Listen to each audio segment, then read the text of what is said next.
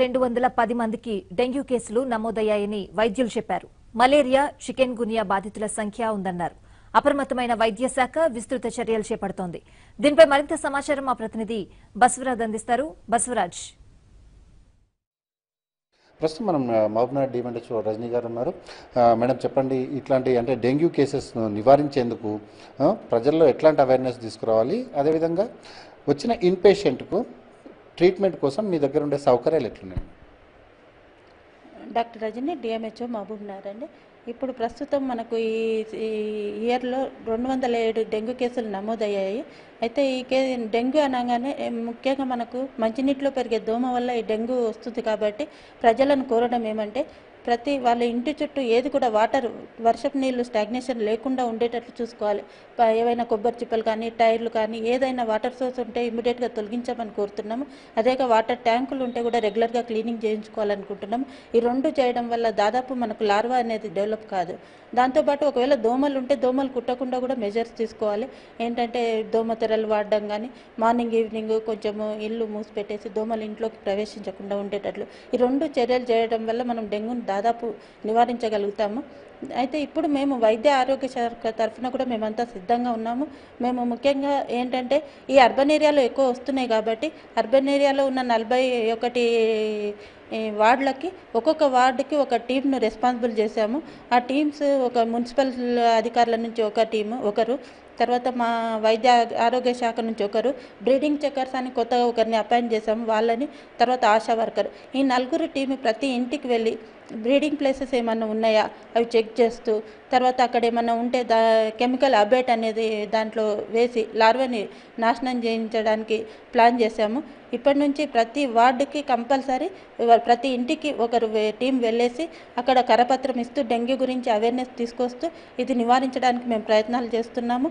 తర్వాత ఒకవేళ డెంగ్యూ వచ్చి వాళ్ళకు ఏదైనా ఇది ఉంటే ఇమ్మీడియట్గా మనం గవర్నమెంట్ జనరల్ హాస్పిటల్కి వెళ్ళి ఆ డెంగ్యూ పరీక్షకు చేయించుకోవాలని కోరుకుంటున్నాం. బయట ఇప్పుడు జనరల్ హాస్పిటల్ అదేవిధంగా మామూలు ఎన్ని ప్రాంతాల్లో ఈ డెంగ్యూ కోసం రక్త పరీక్షలు చేసే కేంద్రాలు ఏర్పాటు చేశారు? అదేవిధంగా అక్కడ సిబ్బంది ఎట్లా ఉన్నారు? మామూలు జనరల్ హాస్పిటల్లో ఎట్లా ఎంతమంది వస్తున్నారు మేడం పేషెంట్స్ రేపటి రోజు? దాదాపు ninety three cases last month report అయినాయి. పాజిటివ్ కేసెస్ వచ్చాయి. ఈ మంత్ కూడా దాదాపు ఒక టూ హండ్రెడ్ కేసెస్ వచ్చినట్టున్నాయి. అయితే అక్కడ సిబ్బంది ఉన్నారు. ఏ కేసు వచ్చినా డెంగ్యూ బయట ఆర్డిటీ టెస్ట్ చేసుకున్నా కూడా గవర్నమెంట్ హాస్పిటల్కి రమ్మని చెప్తున్నాం. ఎందుకంటే కన్ఫర్మేషన్ టెస్ట్ అక్కడ అయితేనే డెంగ్యూ అని డిక్లేర్ అవుతుంది కాబట్టి కంపల్సరీ గవర్నమెంట్ హాస్పిటల్కి రమ్మంటున్నాము.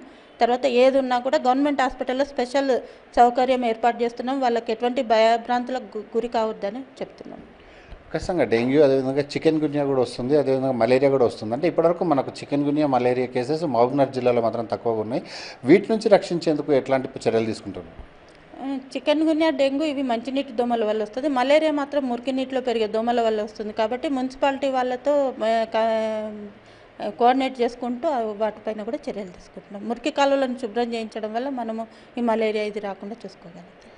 ప్లేట్లెట్స్ అంటారు మేడం అంటే రక్తహీనత ఏర్పడుతుంది ప్లేట్లెట్స్. అట్లాంటివి అంటే మనకు అవైలబిలిటీ ఏంటి? అంటే ఒకవేళ ప్లేట్స్ ప్లేట్లెట్స్ అవసరం పడితే మహబూబ్నగర్ జిల్లా ఆసుపత్రి తట్టుకునే శక్తి ఉందా అసలు మామనార్ జిల్లా ఆసుపత్రిలో ఇప్పుడు అన్ని సదుపాయాలు ఉన్నాయి. ఇప్పుడు ఆల్మోస్ట్ ఒక పదిహేను కేసులకు ట్రీట్మెంట్ ఇచ్చి వాళ్ళను సేవ్ చేశారనమాట ఈ రీసెంట్గా. కాబట్టి గవర్నమెంట్ జనరల్ హాస్పిటల్లో ఉన్నాయి సౌకర్యాలు. ఇక్కడ నుంచి ఎక్కడన్నా హైదరాబాద్ రెఫర్ చేయడం జరిగిందా? లేకపోతే ఇక్కడనే ట్రీట్మెంట్ జరుగుతుందా ఇక్కడే చేసామండి ఇక్కడే ట్రీట్మెంట్. ఇప్పటివరకు అంటే డెంగ్యూ వల్ల కానీ మలేరియా వల్ల కానీ ఈ వైరల్ ఫీవర్స్ వల్ల కానీ ఏమైనా చనిపోయిన కేసెస్ మన దృష్టికి వచ్చాయా? అట్లాంటి వాటిలో ఆ ప్రాంతాలను మనం విజిట్ చేసిన సందర్భాలు ఏమైనా ఉన్నాయి మాకు వచ్చిన ఇన్ఫర్మేషన్ రాగానే ఆ కేసు పర్టికులర్స్ ఆ కేసు దగ్గరికి వెళ్ళి ఆ ఇంటి చుట్టూ ఒక ఫిఫ్టీ హౌజెస్ మేము సర్వే చేసుకొని అక్కడంతా యాంటీ లార్వల్ మెజర్స్ తీసుకుంటాము. మా దృష్టికి ఇంతవరకు చనిపోయిన కేసులు అయితే రాలేదండి. ఖచ్చితంగా ఏదైతే చనిపోయిన కేసెస్ ఒకవేళ వస్తే అక్కడ ఉండే ఇంటి పరిశుభ్రాలు మొత్తం ఒక ఫిఫ్టీ హౌసెస్ మొత్తం కూడా సరౌండింగ్స్ క్లీనప్ చేస్తాం. అదేవిధంగా ఇప్పటివరకు అయితే ఎట్లాంటి చనిపోయిన కేసులు దృష్టికి రాలేదు. ఒకవేళ వస్తే మాత్రం తగు చర్యలు తీసుకుంటామని తెలియజేస్తున్నారు. మొత్తానికి రెండు వందల ఏడు కేసెస్ నమోదయ్యాయి. వీటందరికీ ఇక్కడే ట్రీట్మెంట్ జరుగుతుంది. ఎవరిని కూడా హైదరాబాద్ రెఫర్ చేసే చేయాల్సిన అవసరం లేదు. మహబూబ్నగర్ జిల్లా ఆసుపత్రిలో అన్ని సౌకర్యాలు ఉన్నాయని చెప్పి డేమండేశ్వర్ డాక్టర్ రజనీ గారు తెలియజేస్తున్నారు. Vote studios. అనంతపురం జిల్లాలో సీజనల్ వ్యాధులు విజృంభిస్తున్నాయి. జనవరి నుంచి దాదాపు పదివేలకు పైగా విష జ్వరాల కేసులు నమోదైనట్లు తెలుస్తోంది. జిల్లాలో పలు పీహెచ్సీల్లో సరైన వైద్య సేవలు లేకపోవడంతో జిల్లా కేంద్ర ఆసుపత్రి రోగులతో కిటకిటలాడుతోంది.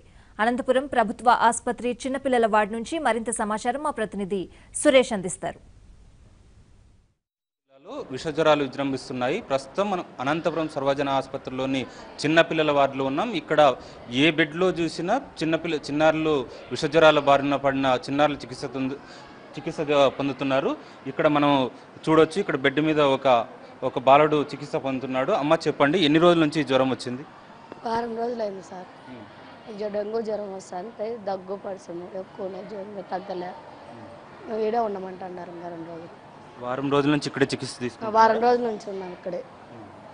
డాక్టర్లు ఏం చెప్పారమ్మా? తగ్గుతుంది రెండు టైం పడుతుంది రెండు నాళ్ళు ఉండండి తగ్గుతుంది అన్నారు సార్. ఇక్కడ ఇంకా మరో బెడ్ పైన ఉన్న చెప్పమ్మా ఎన్- ఎన్ని రోజుల నుంచి మీరు చికిత్స తీసుకుంటున్నారు బాబుకి? నుండి సార్. బేదలు అవుతా ఉన్నాయి వారం అంటే ప్రైవేట్లో చూపించుకొని నిన్న ఇక్కడికి వచ్చినాము ఇక్కడ బాగా చూస్తా ఉన్నారు ఇక్కడ ప్రభుత్వ ఆసుపత్రులు బాగా చూస్తున్నారా? ఆ, బాగా చూస్తా ఉన్నారు సార్. ట్రీట్మెంట్ ఇస్తా అన్నారు. బాగా చూస్తా అన్నారు. నిన్నటికి ఈ రోజుకి కొంచెం మేలు. అవును సార్. ఇక్కడ చూడొచ్చు ఇంకొక మనం ఇంకొక బెడ్ మీద ఇంకొక అమ్మాయి చికిత్స పొందుతున్నారు. ఈ అమ్మాయి కూడా విషజ్వరం నుంచి విషజ్వరాల బారిన పడి ఇప్పుడు ప్రస్తుతం మన ప్రభుత్వ ఆసుపత్రిలో చికిత్స పొందుతున్నారు. అమ్మ చెప్పండి ఎన్ని రోజుల నుంచి మీరు ఈ హాస్పిటల్లో ఉన్నారు? ఏడు రోజుల నుంచి టైఫాయిడ్ జ్వరం ఉన్నది అడ్మిట్ అయినాం సార్. ఎక్కడి నుంచి వచ్చారమ్మా? అగ్రహారం కేక్ అగ్రహారం నుంచి. జ్వరం చాలా ఉంటే అడ్మిట్ చేస్తున్నారు వీళ్ళే గవర్నమెంట్ హాస్పిటల్ నుంచి. ఇప్పుడు బాగైంది సార్. మనం చూడొచ్చు ఇంకొక బెడ్ మీద చిన్నారులు ఉన్నది ఇక్కడ తండ్రి ఉన్నాడు. చెప్పండి మీరు ఎన్ని రోజుల నుంచి ఈ ఆసుపత్రిలో చికిత్స పొందుతున్నారు? సార్. బాబు బాగాలంటే దగ్గు పరచడం తలక నొప్పి వచ్చింటే వచ్చినాం ఏం చెప్పారు? డాక్టర్లు ఏం చెప్పారు? కొత్త ఇదే దగ్గు దమ్మలకి గల్ల చుట్టుకుంది అని చెప్పారు. ఇప్పుడు కొంచెం మేలు అని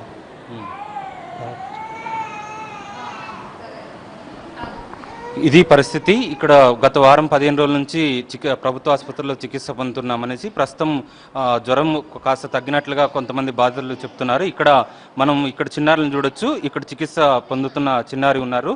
అమ్మ చెప్పండి ఎన్ని రోజుల నుంచి మీరు ఈ ఆసుపత్రిలో ఉన్నారు? ఐదు రోజులు మింటి ఉండాం సార్ ఈ హాస్పిటల్లో. ఇద్దరికి జ్వరాలే పిల్లలకి ఇద్దరికి. అందుకు ముందు కూడా ఈ పాప డింగి జ్వరం వచ్చినది ఇక్కడే చూపించుకొని విన్నా. మళ్ళీ నా పెద్ద కూతురికి వచ్చింది డింగి జ్వరం ఇక్కడే చూపించుకొని విన్నా.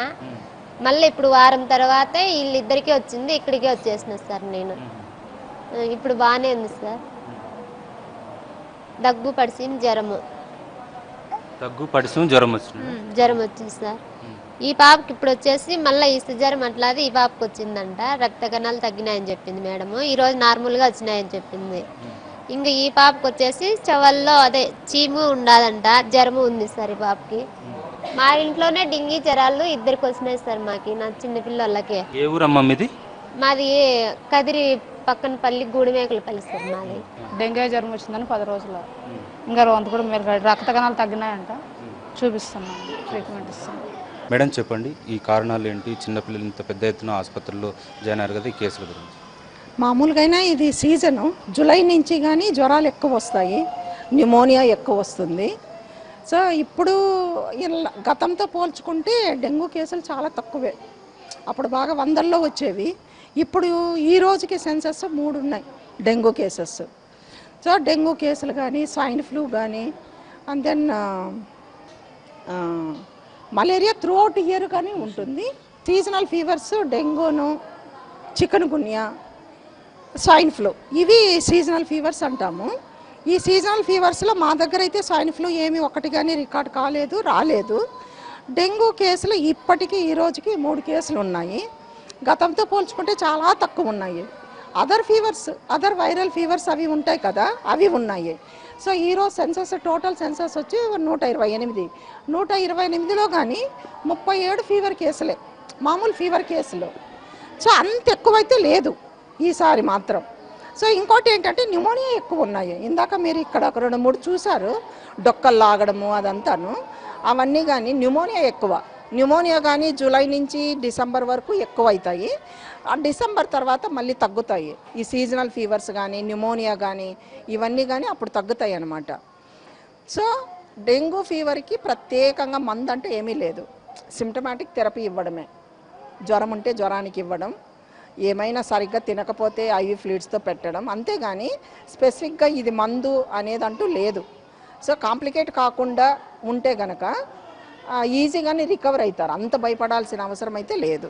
ఏమంటే ఈ సీజనల్ ఫీవర్స్ కొంచెం కంట్రోల్ చేసుకోవాలి అంటే వాళ్ళు వ్యక్తిగతంగా శుభ్రంగా ఉండడం చుట్టుపక్కల వాళ్ళ ఇంటి చుట్టుపక్కల కానీ శుభ్రంగా ఉంచుకోవడం నీళ్ళు లేకుండా ఉంచుకోవడం టబ్బుల్లోన దాంట్లోన? తడిగా ఉన్నా కానీ దాంట్లో అన్నీ వచ్చి బ్రీడ్ అవుతాయి దోమలు. తడిగా లేకుండా లేదంటే బోర్లింగ్ చేసేయడం. పరిసరాలు శుభ్రంగా ఉండాలా? వ్యక్తిగతంగా వాళ్ళు శుభ్రంగా ఉండాలా? ఒకవేళ ఏ ఫీవర్ వచ్చినా వెంటనే ఒక దగ్గర ఒక డాక్టర్కి చూపిస్తే ఏం ఫీవర్ అయితే చెప్తారు. ట్రీట్మెంట్ తీసుకోవచ్చు. సో ఈ జాగ్రత్తలు తీసుకుంటే చాలా వరకు మంచిగానే ఇంప్రూవ్మెంట్ ఉంటుంది. వీడియో జర్నలిస్ట్ నాగేంద్రతో సురేష్ బాబు ఏబిఎన్ ఆంధ్రజ్యోతి అనంతపురం. ఇవి బులెటిన్ విశేషాలు.